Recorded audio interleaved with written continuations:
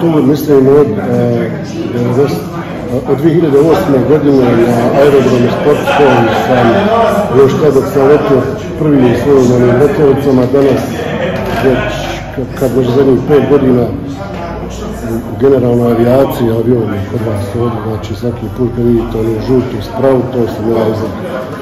Ne znam jeste li to znali, ali... Jeste. Sam znači dugo već i osjećam se ono, mislim stvarno sam na domaćem terenu, za koji kod Ibor Grča radio, vrlo često i letim prvi kuće? Pa nemam pojma, ona sama nekako živi, traži ljude.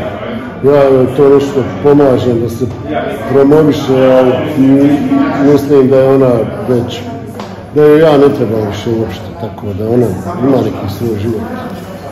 Ja ponegdje samo dođem, govorim pokoju.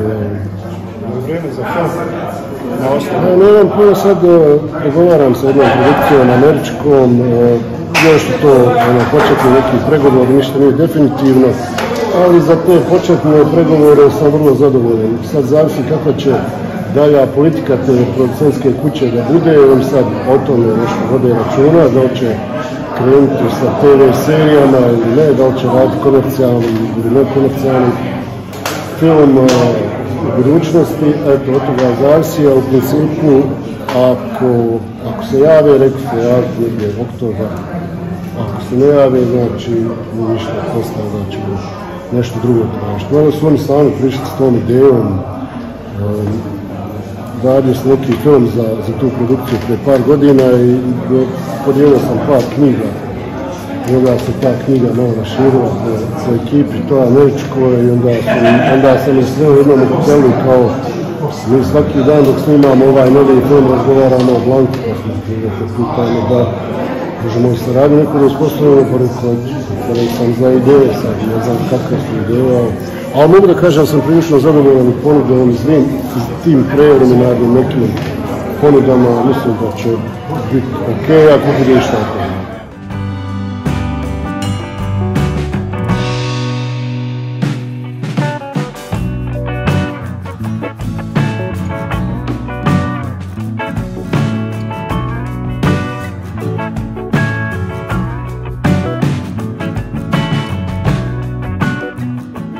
Damir Urban tu, mislim da stvarno toga fali u, BiH, mislim da smo otišli u tu neku tradiciju koja nas više mrcvari s tim praistorijskim nekim običajima i svim ostalim ono, pro, prošlim vremenima nekim koja su davno prošla.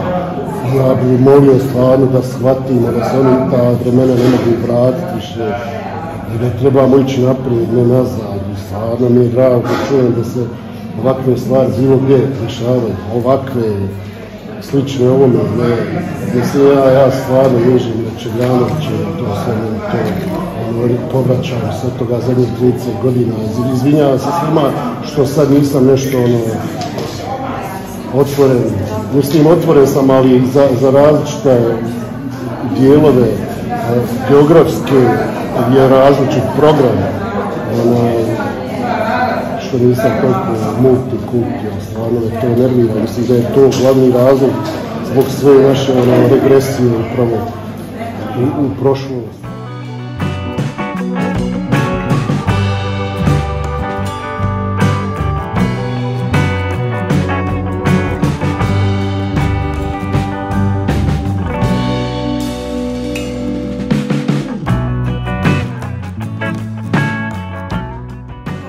sam jako često po srednjim školama, sad jer srednje škole masovno uzmaju blojt kao obaveznu literaturu, kao lektiru. I mogu da kažem svako, u svakoj školi, prvo onima koji odluče da uzme blojt kao lektiru, ja dajem knjige besplatno. koliko mi traže knjiga dobijem besplatno. onda održim predavanje jednom svakoj od tih škola, više razgovora, ima i predavanje i, i mogu da kažem da ta generacija koju mi nazivamo vrlo pokvareno uh, milenijalci, znači mi, mi s tokim predrasudama gledamo na tu djecu i mi mislimo da su to samo djeca koja znaju da scrolla Instagram. Da je to sve što oni znaju zapravo, da ne znaju ništa drugo. Međutim, kad dođem u te škole, ti milenijalci, kad mi postave toliko precizno pitanje, da, hoće da znaju suštinu, apsolutno ih ne zanima ništa drugo nego istina i suština, ali da, kažem da glup čovjek ne može postaviti takvo pitanje. Problem je postaviti pitanje da bi se dobio tačan precizan odgovor. Mislim da, da uopšte nismo u lošim rukama za budućnost. Stvarno imam puno, puno vjere u tu djecu. Puno.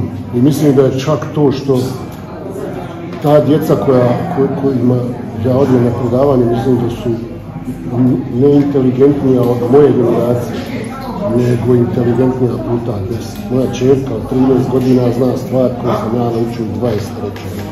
28. Znači, puno su napredniji. Čak mi izgleda da ono, Me is our harvest.